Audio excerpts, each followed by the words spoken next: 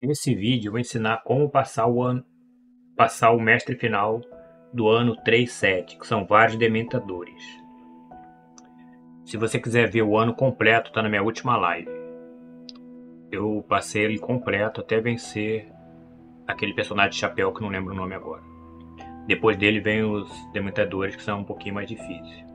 Para vencer ele, os nossos aliados vão lançar vão lançar patrono para nos defender. Mas se eles perder vida, o patrono é desligado. Então a forma que eu consegui passar foi fazendo um deck focado em cura. Então eu usei um deck de Hermione com essas cartas aqui. Então foi usado aquelas corujinhas que ficam em volta da gente. Aquela carta que cria como se fosse uma neblina, aquela cura. A carta dos dois irmãos, que eu esqueci o nome aqui também. Que ela transporta a gente de lugar. Ela cura também. A carta de 3 de mana, que é totalmente focada em cura e usamos incêndio para dar danos e ventos para manter eles longe. O ventos é muito importante. E a última carta aqui foi usada de raio, mas aí é sua preferência. Ajudante, eu usei Cassandra, porque ela é muito boa contra eles, com aquela nuvem dela fica dando choque. Usei Hermione para duplicar a magia, mas você pode usar o Rony se você não tiver Hermione. E por último, você bota aquele personagem que cura, que fica curando, aquele auxiliar, que todo mundo tem. Então vamos lá e eu vou descrevendo. Vamos, então na partida eu vou falando mais detalhes. Aqui eu já soltei Cassandra para ela ficar protegida. E já usei eventos para deixar o Dementador afastado. Mesmo se seus personagens já estiver com vida, fique curando eles. Usei as corujinhas para dar dano e usei o trovão também.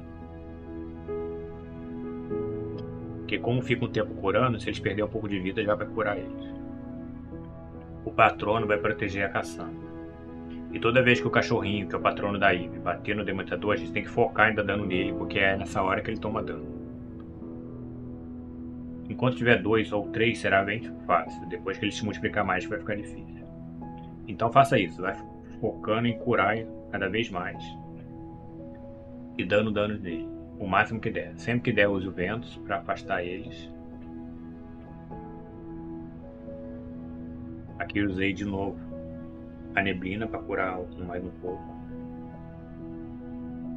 Aquela carta que duplica magia, ela vai te ajudar bastante aqui. Aqui já morreu um. Aqui eu estou focando em curar. Aqui já, já viraram quatro. É nessa hora aqui que o patrono vai ser destruído, quando eles viram quatro. Então a gente tem que focar, curar mais rápido possível para eles retornarem com o patrono. Tem uma hora que ele vai, eles vão afastar o personagem de você.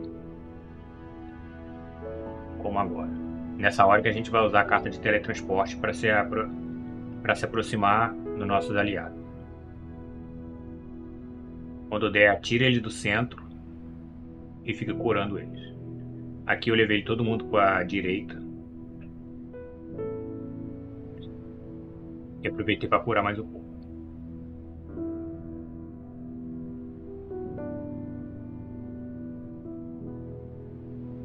Repare que Cassandra tá dando bastante dano nele e eles não estão focando nela. Quando essa magia de teletransporte é que ela teletransporta a gente para um lugar seguro e a gente ainda é curado. Vai fazendo essa estratégia de ficar curando, que uma hora eles mesmos vão acabar morrendo porque nossos aliados dão muito dano neles.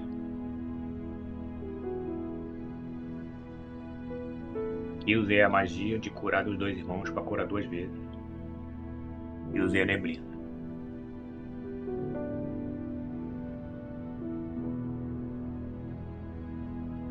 Não vou mentir, uma hora você vai fazer tudo certo, mas você vai acabar perdendo. Mas se você focar direitinho em fazer cura, você vai irá ganhando. Aqui já foi. E aqui já é o final.